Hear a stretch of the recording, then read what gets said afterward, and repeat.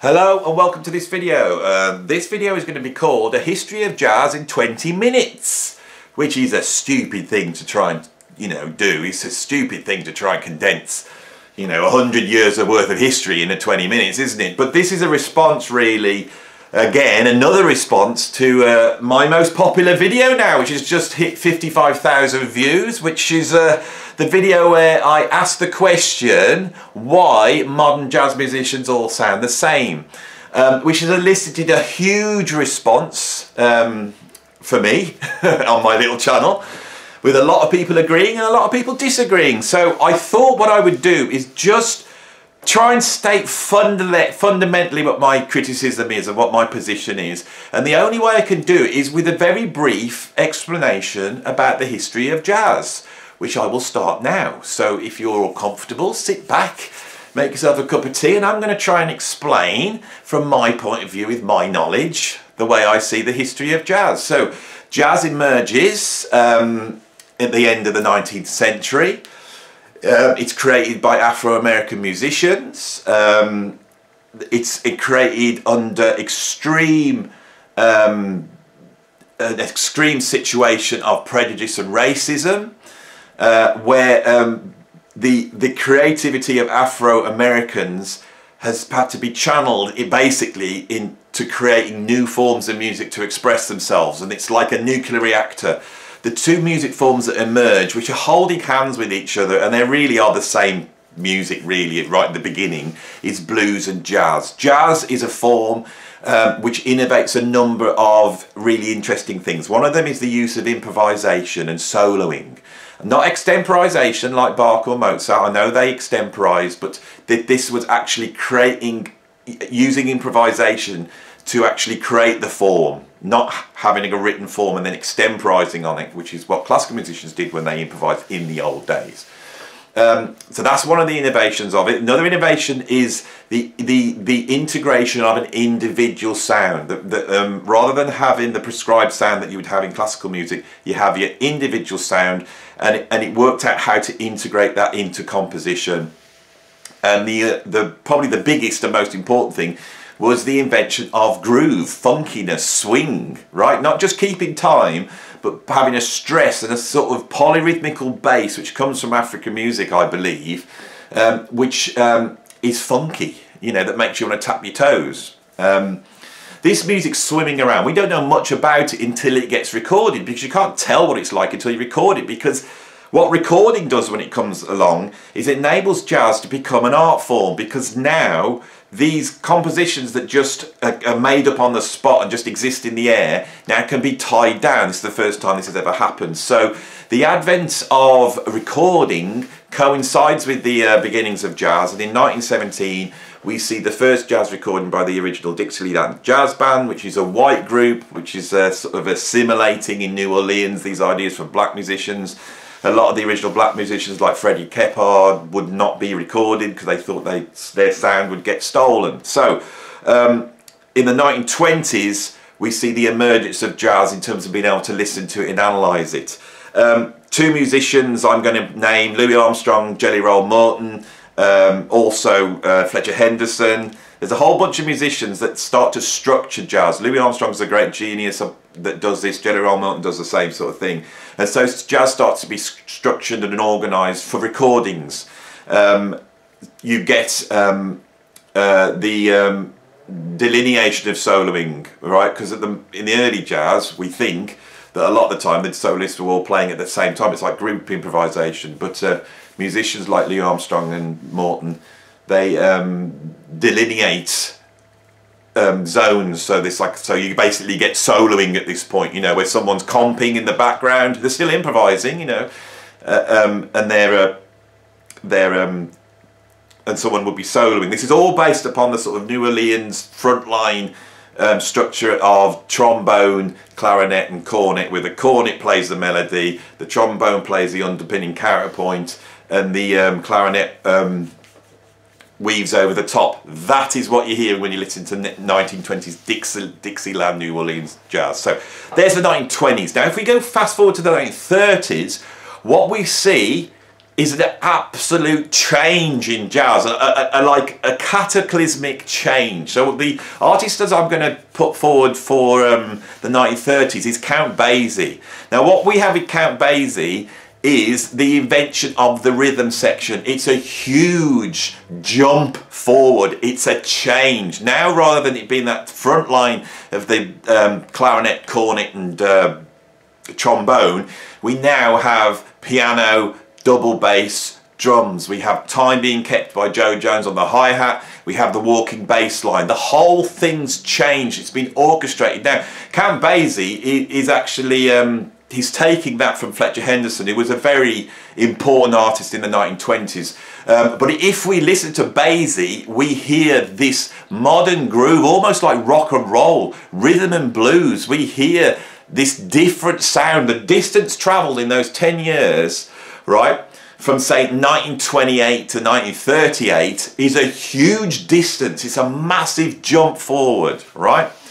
Um, if we now move to the 1940s, in 1940s we see the emergence of bebop. Um, bebop really comes out of the town where um, uh, Count Basie came from, Kansas City, where so, some of those swing musicians started playing, um, you know, double time solos. You know, Charlie Parker heard that sound. He also um, had this um, innovation of how to play through chord changes using the colour tones, um, which are the upper, upper intervals of the chord, which means you could weave through complex chord changes and almost like um, transform the chord changes into new style of music. Uh, Charlie Parker's phrasing was different, and so if we take the innovations of Charlie Parker along with a whole bunch of musicians that were already pioneering this new style, which is bebop, which would be like Thelonious Monk, Kenny Clarke, Dizzy Gillespie, um, you know, a whole host of these musicians, but Charlie Parker is the guy like Louis Armstrong that provides the phrasing.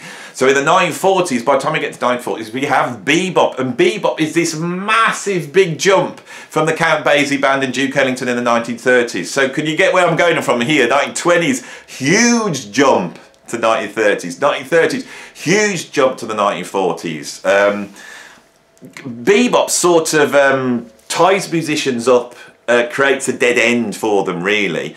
Um, it's a little bit of a trap as much as um, it's it's it, it, it's a way of freeing music but um, how fast and boppy do you get? Um, so musicians in the 1950s start to create lots of different styles of music. In jazz we see jazz fracturing. If if we take the rhythm and blues element that really moves into rock and roll. You mix that with country music and a little bit gospel and you get um, rock and roll in the in the late 50s but we also get sort of the cool jazz we get hard bop and eventually by the end of the 50s we've got the free jazz of Ornette Coleman uh, who emerges around about 58 59 now if I was to now go from 10 years to Ornette Coleman at the end of the 50s what we see is this huge change. Ornette Coleman starts to disregard the uh, tyranny of the chord progression and he starts to give weight to other aspects of the music to improvise from. He goes, I'm not going to necessarily follow those chord changes.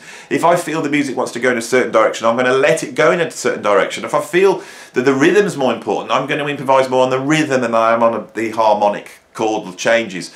Um, people like George Russell, who are like academics, we now have jazz, ac jazz academics exploring ideas of um, freedom using modality, so you're just working on a scale. Uh, Lennie Tristano, by the end of the late 40s, is actually um, experiment within, with a sort of free improvised jazz.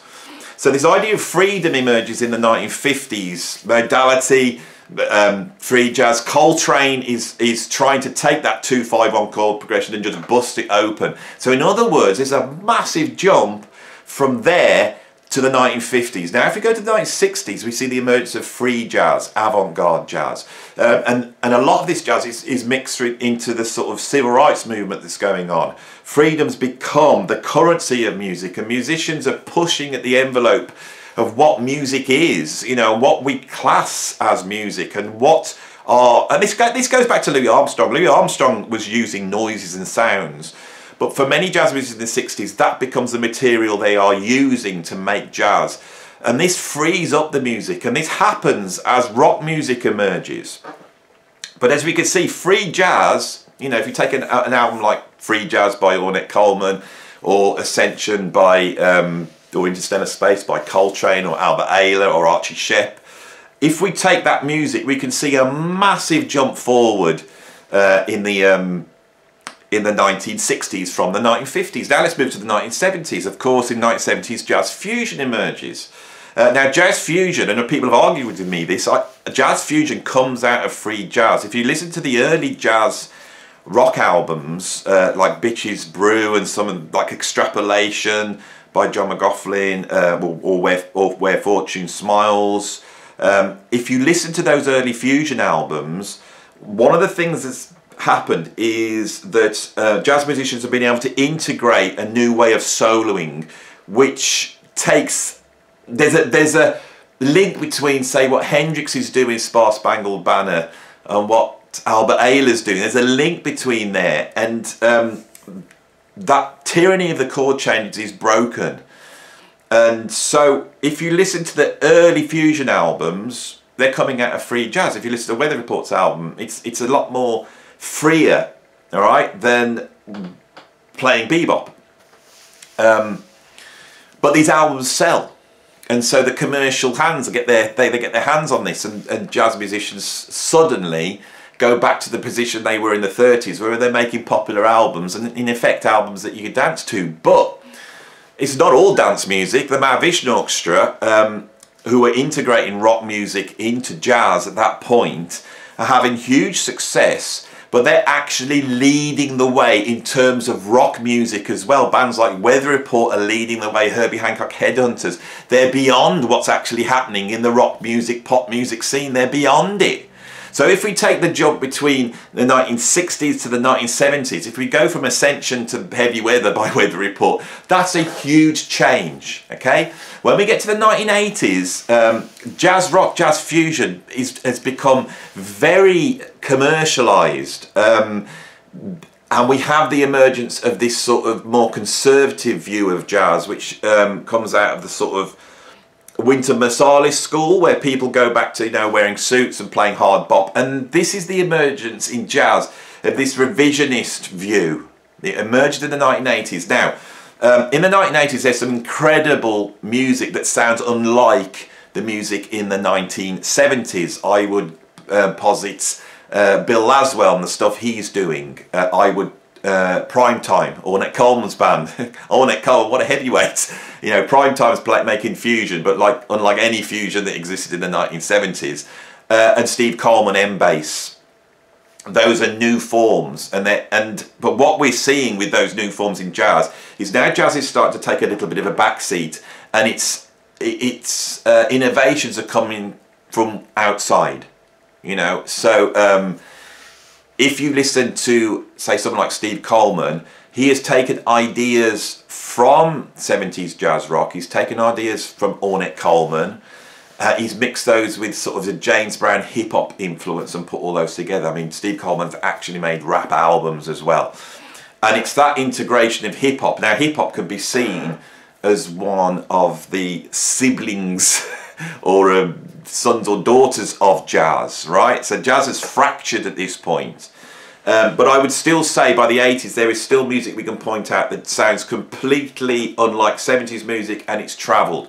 Now, once we get into the 1990s, I start to struggle to name a, a style of music that has the, the distance that we see from, say, a Love Supreme to Heavy Weather. You know, you've got to think when you listen to Weather Report, that Joe Zawinul has come out of that music. You know, he was playing with Cannonball Adderley, playing sort of post-hard bop, right? Um, and in that 10 year, he, he ends up making an album like Heavy Weather. That is a big distance travel. Well, if you move from the 80s to the 90s, um, I don't see that, but there are still some really incredible emer musicians emerging.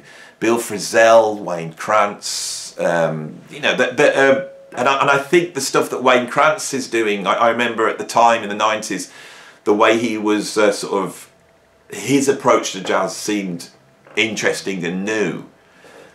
As I moved to the 2000s and now the 2010s and now into 2020s, when I listened to modern jazz musicians, I hear incredible playing. I can hear interesting ideas. There's so much stuff going on that I like. I really love it.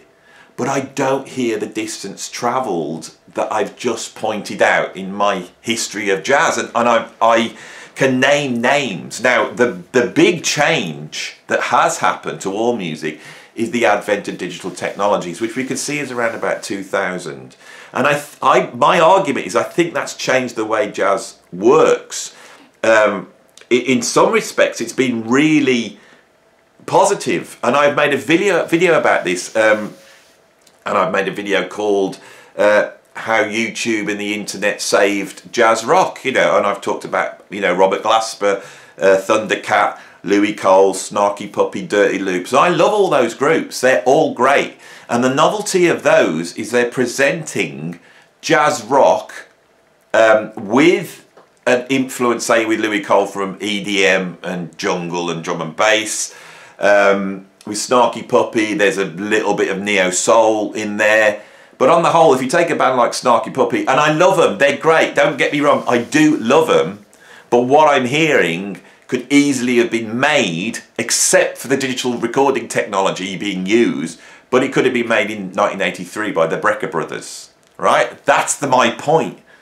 So if you want to criticise uh, my position, what you need to do is you need to put forward an artist that doesn't sound like something from 30 years ago, right? Or sounds like jazz musicians playing over a hip hop groove, right? Drummers, you know, it, I love, I love Chris Daddy Dave, right? I love that I love his playing. He's a huge influence on me, right? And and those guys, for me, are the cutting edge of jazz. What they're doing, it's not the jazz that's uh, interesting. It's the hip hop. They're they're bringing that in from outside. You know, J Dilla is is probably been one of the most important influences on on modern jazz. But these are coming from outside, right? And I think. Um, those aspects of jazz that I started at the top of this video discussing, the use of improvisation, the uh, the uh, development of an individual sound, so you're not copying Michael Brecker or Coltrane or Allan Holdsworth, you know, that you've, you've created your own sound, and, and the idea of groove. Now, I think the one thing that is happening in jazz is, is I think jazz musicians are renegotiating the idea of groove. That has changed over the last few years. I, I, I will admit that, um, in that jazz musicians have, have, have, taken an influence from EDM, in Louis Cole's case, or uh, from uh, drum and bass. You know, um, they've taken influence from hip hop, uh, program music, sampling. And I think that's going on, but that's going on across all music. Um, one of the things and I don't know the answer to this. The the big the big question, and I'm sure it's going to hover over my YouTube now that um, I have attracted an audience from the jazz world as well as the progressive rock world. It's going to be weird having those two people, those two uh, audiences mixing together. Um, but uh, as I attract people from the jazz world, my overriding question is whether jazz is a living form, able to create new forms within itself, or whether it's a dead form.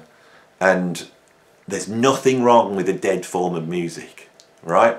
The blues is dead. You know, you, you can't change the blues, you can't change Bach, you can't change Mozart. You can listen to Mozart and you can enjoy Mozart and you can go and see a concert and see someone playing it brilliant and you can hear their modern interpretation of Mozart, but it doesn't change, you know. Um, certain, I believe, certain genres emerge and they're new and they're alive and they are able to within themselves develop so the, the, the, the history I've discussed, I think, is the history of when jazz was alive.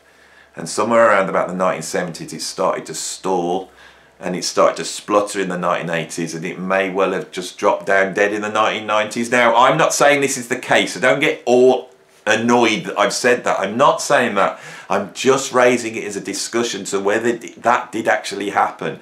And now people are just going through the motions, making great jazz, and we could enjoy it and listen to it because we all love jazz. But is jazz as a style able to innovate within itself? That's the question. Anyway, that was my history of jazz in 20 minutes, and it's also a response to a lot of the comments and discussion that's been going on around my YouTube. Um, I'm here to have the discussion. I'm not here to come out and make great grand statements and, and, and have a position. I'm uh, being a little bit of a contrarian just to get the discussion going. So I hope you all appreciate that. And if you do appreciate that, please like this video. Please um, subscribe to the channel. I've just gone over 10,000 subscribers, which is incredible. Um, and if you want to support me, go deeper into this as well and, and get into a lot more weirder content, then uh, become a Patreon. The link is there. Um, thanks for watching this video and I will see you on the next one.